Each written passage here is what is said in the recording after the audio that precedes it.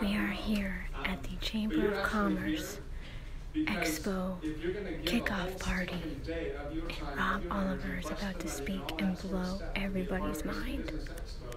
You actually want to have some sort of an outcome, maybe even make money, uh, maybe even make this thing worth your time. Raise your hand, and, and it's okay if, if you don't raise your hand, but, but raise your hand if you came to this thing 45 minutes early, and there's not even any liquor in this room. That's pretty crazy. Um, um, if you came to this thing because you truly want to, like, rock the expo and, and, and get some new clients, make some money. And some of you, all right, good. Um, the reason I, I asked that question is because you'll be shocked. Um, over here, you'll see we've got Krista and Amelia, and that's Madison. Katie, where's Katie? Katie is in the back. Uh, those we, we refer to them as our Monarch Special Agents. We went to a trade show last Friday in Orlando. It's called the ASI Trade Show, biggest promotional item trade show in the country. Happens in Orlando. All the cool stuff happens in Orlando. People paid two and three and four and five and ten and probably twenty thousand dollars for a booth. There's 600 exhibitors. They come from all over the country and all over the world. Half the reason I'm there is to see what they do in their booth and how they treat people so we can like take all of their secrets away and then bring them back to you. And here's the thing. We put our names, you know, on their things. They have these card scanners, you know, you just walk up and they scan your card so they can um, contact you later and all that sort of stuff. We were there last Friday. Last Friday. I'm going to talk about the 72 hour rule here in just a second. And um, so far, pretty awesome. 600 booths. We went to almost all of them, didn't we?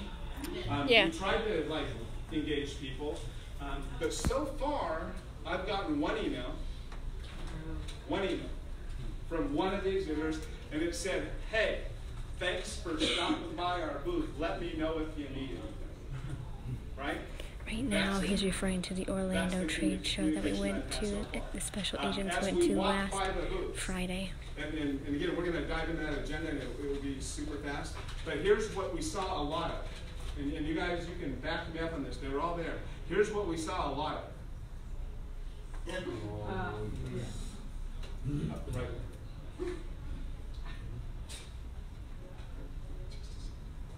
What is that? Um, hey, thanks for coming. Do you want some candy? We have candy in a dish right here. Um, and that's what they would do. I mean, that happened again and again and again and again. Um, or we'd be talking to them, actually like engage them, like we might buy stuff. You know, we do spend a fair amount of money, and we'd be talking to them, and they'd go like this. And this is true in business, and it's true at the expo. You guys do whatever you want to, but I'm kind of an anti. Don't ever let this kind of stuff happen. Um, you're talking to them, you're kind of trying to get you know feel for what they're selling, and they're doing this. Sorry. Sorry. I got it. Just one second. It's important. Um, but I'm not. Right? So, um, I'm going to cover this again. Rule number one these things are not made for trade shows. Okay? They're fine. If you want to take a video, throw it up on Facebook or do something, put this thing away, put it in a box or whatever. You know, there's a lot of people who take great pride in looking people in the eye and saying, um, don't worry, I'm not going to take that call that's buzzing in my pocket. I'm not paying any attention to you right now because my phone's going off. Um, what I'm really saying is at the expo, you've got to show up and you've got to show up with purpose and you've got to show up with focus. Uh, don't let the technology get in the way. Um, really quickly, you guys have this sheet. It's a, it's one sheet, two sides.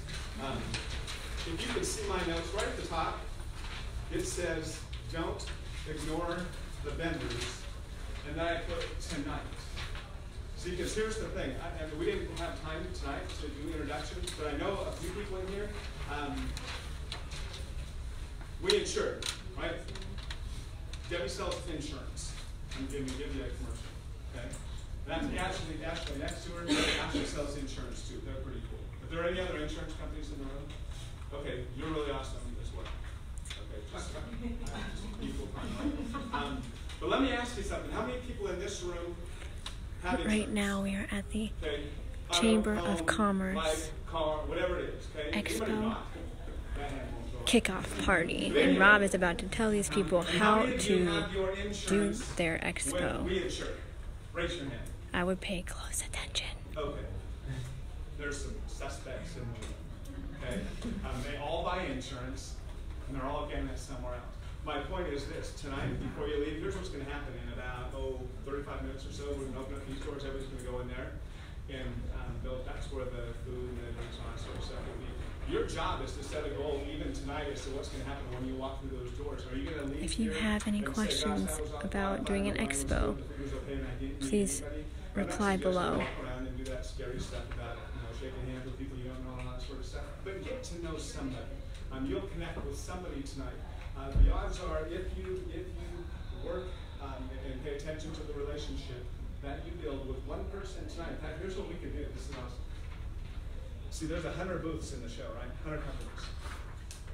All of them could have come to this, right? Are we on Facebook Live? Yes.